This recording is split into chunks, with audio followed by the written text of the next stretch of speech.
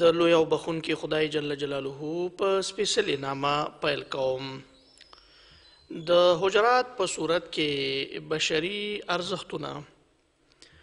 ټول ثنا او صفت د هغه الله جل جلاله لپاره دی چې ټولو مخلوقاتو پالون کې دی هغه په خپل کتاب قران کریم کې داسې فرمایلی دی قل انني هداني ربي الى صراط مستقيم دينا قيما مله ابراهيم حنيفا وما كان من المشركين او زه ګواهي ورکوم چې نشته لایق د عبادت مګر یو الله دی چې هیڅ شریک نه لري او زه ګواهي ورکوم چې زموږ سردار او نبی محمد صلی الله علیه وسلم د الله جل جلاله بنده او رسول دی هغه په حدیث کې فرمایلی دي یقینا زه د لپاره را لېګل شوی يم تر څو نیک اخلاق بشپړ کړم درود سلام او برکت دی وي په هغه او دغه په آل او په ملګرو او په هغه چا باندې چې د قیامت تر ورځې پورې په نیکۍ سره د هغه تابعداري کوي ډیرو درنو مسلمانانو ورونو قران کریم په بیلابیلو آیاتونو کې د خو اخلاقو پر رامنځته کېدو باندې ټینګار کړی دی همدارنګه په دې باندې ټینګار کړی دی چې لوړ ارزښتونه باید وساتل شي د دې ترڅنګ بشپړ صورتونه هم راغلي دي تر څو د یو پرمختللې ټولنې د جوړښت لپاره کار وکړی شي. لکه د حجرات صورت د بیلګې په توګه مونږ یادولی شو چې په دغه مبارک صورت کې بیلابیل ارزښتونه او اخلاق په نظر کې نیول شوي دي چې له دې جملې څخه د یو چا څخه وضاحت غوښتل او ثابت پاتې کېدل دي او په ټولو چارو کې باید دا په ځان عملي کړی شي، په ځانګړې توګه په هغه وخت کې چې کله د خلکو د چارو پورې اړه ولري. الله جل جلاله په دې هکله فرمایي،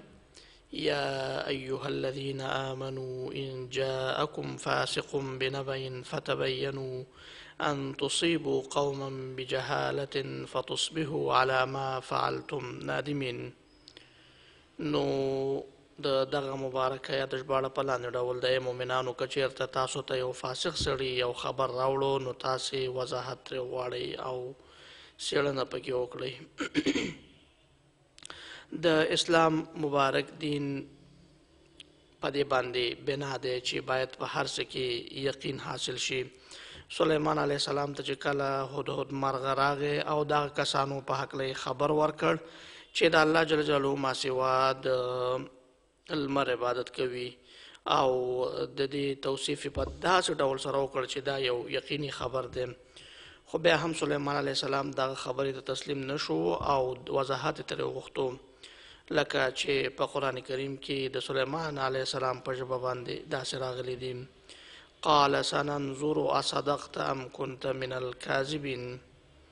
همدارنګه نبی کریم صلی الله علیه وسلم فرمایلی دی د یو چا لپاره هم دغه ګناه بسنه کوي چې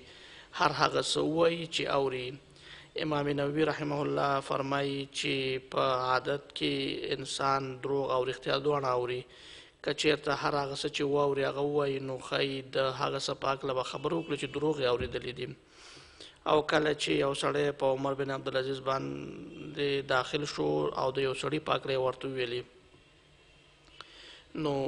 عمر بن عبد العزيز رضی الله عنه ورته ویل ک چیرته ته دروغ وې نو ته د دغه آیات لاندې راځي چې الله جل جلاله فرمایي ان جاءکم فاسق بنبأ فتبینوا او که چیرته ته رښتیا وې نو بیا دغه آیات کې راځي هم مازم مشائم بنمیم او که چېرته ستا خوښه وي نو موږ به تا ته عفو وکړو نو هغه ویلي چې زه بخښنه غواړم ای امیرالمؤمنینه نو موږ او تاسې ټولو ته دا لازمه ده چې باید که یو څوک یو خبر راوړي نو په هغې کې څېړنه وکړو او د خپرېدو څخه مخکې هغه ثابت کړو تر څو د ناوړه اوازو مخنیوی وشي او همدارنګه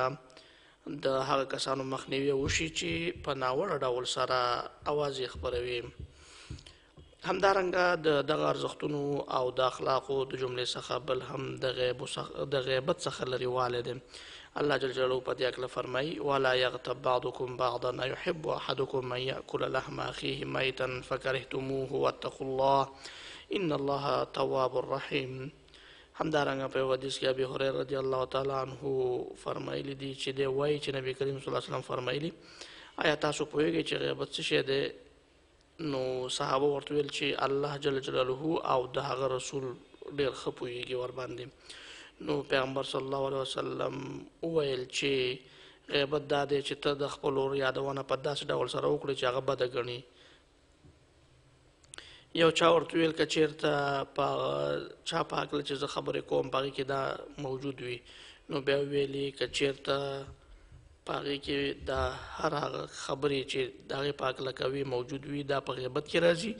او که چیرته په هغې کې موجود نه وي نو تا په هغې باندې بهتان وتړلو نو موږ او تاسو ټول ته لازمه ده چې باید د خلکو عیبونو ته ونګورو او باید هڅه وکړو تر څو په هغوی باندې پرده واچو د انسان څخه د دې غوښتنه شوې ده چې د خپل ورور څخه درد او مشکلات لرې کړي لکه چې پیغمبر صلی الله علیه وسلم په دې اړه فرمایلی دی چې د یو خپل ورور څخه که یو څوک درد لري کړی نو د قیامت په ورځ به الله جل جلاله د اور څخه دا انسان لرې کړي. همدارنګه د دغه اخلاقو او د ارزښتونو د جملې څخه بل هم دا دی چې د عیب پټول دي او په چا باندې عیب باید رامنځته نه شي. الله جل جلاله په دې هکله فرمایي، ولا تلمزوا انفسکم، یعنې تاسې یو د بل عیبونه مه لټوئ. او د غیب لټول یا په وینا سره وي او یا هم په کړنې سره وي او پیغمبر صلی الله علیه وسلم دواړه منع کړی دي الله جل جلاله فرمایي ویل لکل همزه لمزه دا کسانو چې په خلکو کې عیبونه لټول او همدارنګه په ناوړو نومونو او صفتونو باندې د هغوی یادونه کوله نو همدې لپاره دغه خبرداری راغلی همدارنګه په یو بل حدیث کې چې د ابي مسعود رضی الله تعالی عنه او د علي رضی الله تعالی عنه منځ کې رامنځته شو په هغه کې هم په همدې باندې ټینګار شوی دی چې باید د یو بل عیبونه ونه لټول شي او په دغه ډګر کې باید د صداقت څخه کار واخیستل شي همدارنګه د دغه اخلاقو او د ارزښتونو د جملې څخه بل هم دا دی چې په خلکو باندې ټوکې ټکالې او مسخرې ونه شي ځکه حقیقي مؤمن هیڅکله هم په یو چا باندې مسخرې نه کوي الله جل جلاله په دې اکله فرمایي یا ایها الذین آمنو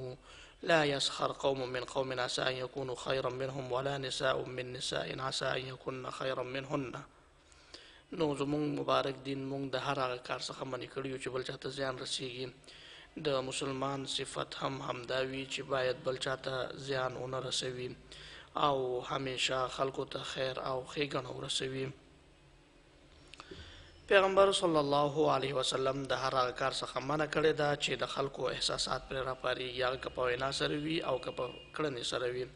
او یا په اشاره سره وي پیغمبر صلی الله علیه وسلم همیشه انسانان د تاسول چې د انسانانو داسې څه بیان کړي چې د خلکو په مخ کې د هغوی شان او شوکت لوړ شي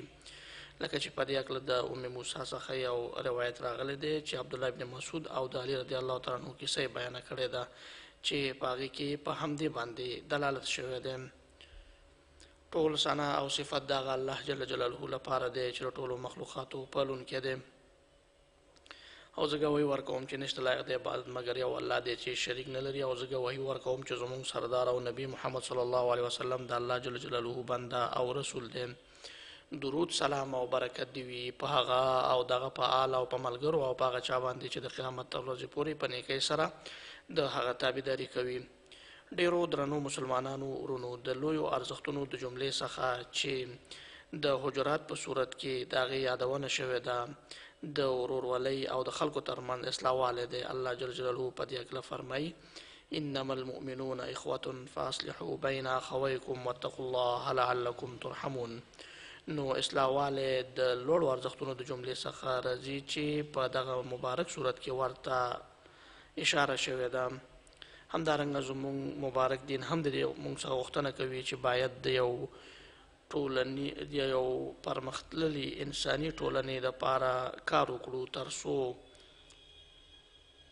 د ګډ ژوند کولو ارزښتونه په کې پیاوړي شي او د خلکو ترمنځ مینه او محبت او نږدېوالی راشي چې د تاوتریخوالي او د جګړو څخه لرې وي او دا د هر هغه چا لپاره علاج دی چې هغه د تاوتریخوالي او اختلاف ته لاره هواروي. د کورنۍ په چوکاټ کې که موږ ګورو نو قرآن کریم له موږ څخه غواړي چې که چېرته د میړه او د ښځې ترمنځ اختلاف رامنځته شي نو او دوی نشي کولی چې هغه له منځه یوسي نو باید د اصلاح والي لپاره یو داسې څوک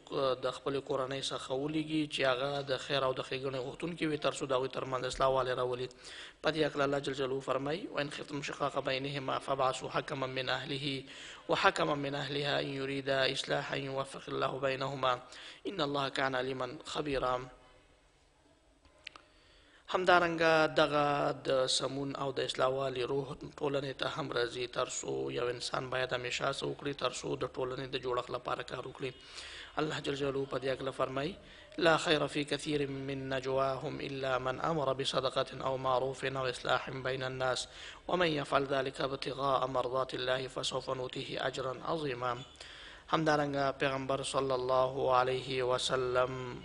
په بیلابیلو حدیثو کې د اصلاح والی د بدلی په حقله خبرې کړې دي او همدارنګه د هغې اغیزې بیان کړې دي چې ټول په همدې باندې دلالت کوي چې باید د خلکو ترمنځ اصلاحوالی راشي په د کورنۍ په نظام کې او همدارنګه د هغې وروسته د ټولنې په جوړښت کې باید د سمون او د اصلاح والي لپاره کار وشي نو حقیقي مؤمنان همیشه هڅه کوي چې سمون او اصلاح والي د ژوند تګلار وګرځوي او هر چیرته هڅه کوي چې خلکو ته خیر او ښېګڼه ورسوي لکه چې نبی کریم صلی الله علیه وسلم په دې حق لا فرمایلی دی چې په خلکو کې داسې خلک شته چې هغوی د شر د بندولو لپاره د خیر او د ښېګڼې د کلیګانو څخه کار اخلي او همدارنګه ځینې داسې خلک شته چې د خیر د بندولو لپاره د شر د کلیګانو څخه کار اخلي نو د هغه چا دپاره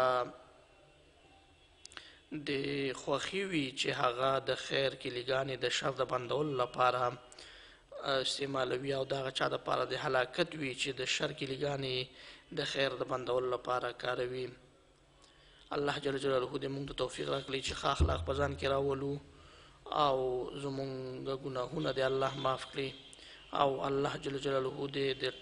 د نړۍ د نورو هېوادونو ترڅنګ زمونږ ګران هېواد هم په امن او امان کې ولري.